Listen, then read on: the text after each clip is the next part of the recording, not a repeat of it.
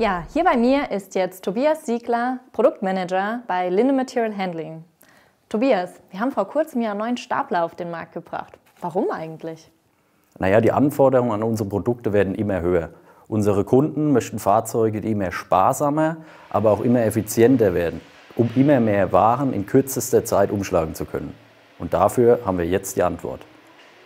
Wir sprechen hier über die neuen Diesel- und Gasstapler H20 bis H35.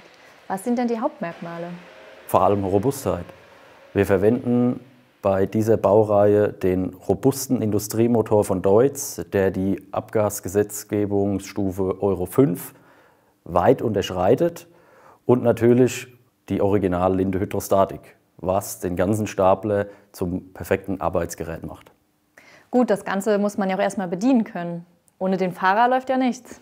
Genau, der Fahrer steht bei uns im Mittelpunkt. Wir konstruieren unsere Stapler immer um den Fahrer herum. Heißt konkret? Das fängt schon beim Fahrerarbeitsplatz an. Wir haben altbewährtes wie die Linde Load Control, die ein feinfühliges Arbeiten ermöglicht. Natürlich viele ergonomische Sitzvarianten, aber das Entscheidende an diesem Fahrzeug ist die Fahrerkabine.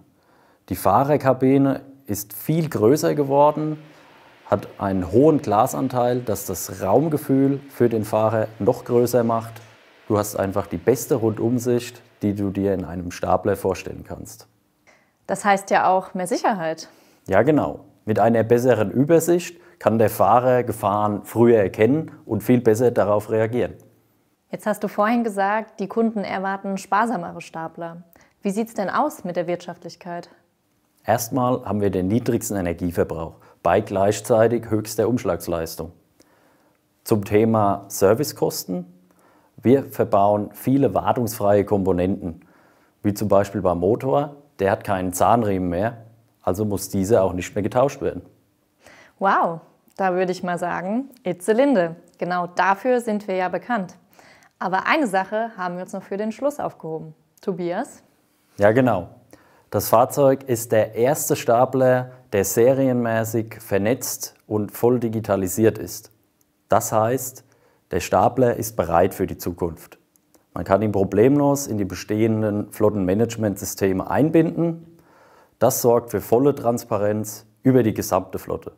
Eine bessere Wartungsplanung führt zu weniger Reparaturen und letztlich erhöht es die Verfügbarkeit des Fahrzeugs. Okay, das heißt, Linde Material Handling hat mal wieder einen Standard gesetzt, oder? Ja, absolut. Danke dir, Tobias, und vielen Dank fürs Zuschauen.